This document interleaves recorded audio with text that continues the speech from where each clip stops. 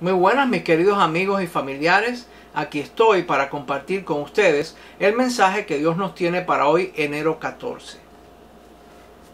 Y como ha sacado fuera todas las propias, va delante de ellas, y las ovejas le siguen, porque conocen su voz.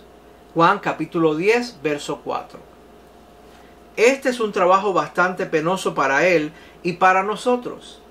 Es penoso para nosotros el salir, pero es igualmente penoso para Él el tener que causarnos sufrimiento. No obstante, eso tiene que hacerse.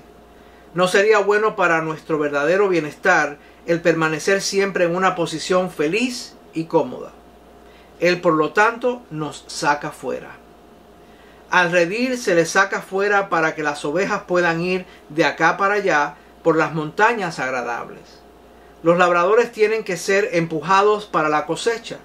De lo contrario, el grano dorado se desperdiciaría. Toma aliento. No puede ser mejor el permanecer donde estamos cuando Él decide otra cosa.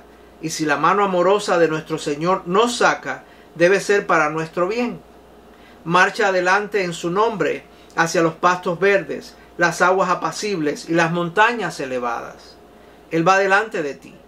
Cualquier cosa que nos espere, la encuentra Él primero.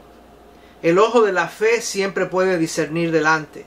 Su presencia majestuosa y cuando ella no puede verse, es peligroso el marchar hacia adelante.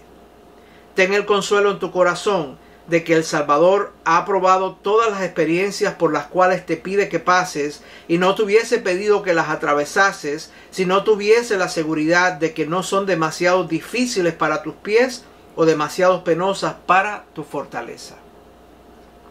La vida santa consiste no en inquietarse por ver lo que hay demasiado lejos, no en preocuparse acerca del próximo paso, no en estar deseoso en escoger el camino, ni en cargarse con las responsabilidades del futuro, sino en seguir calladamente, paso a paso, detrás del pastor.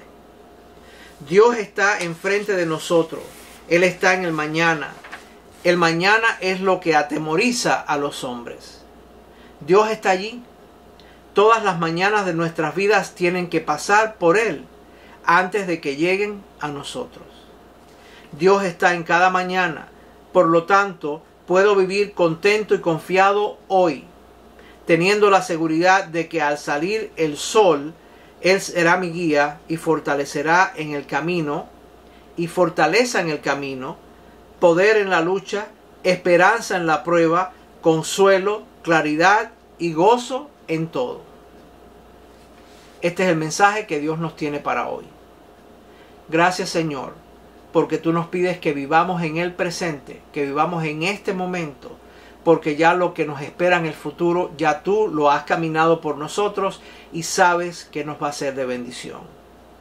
Gracias porque nos acompañas en las buenas y en las malas. Gracias Dios mío porque también sabemos que estaremos contigo en la eternidad.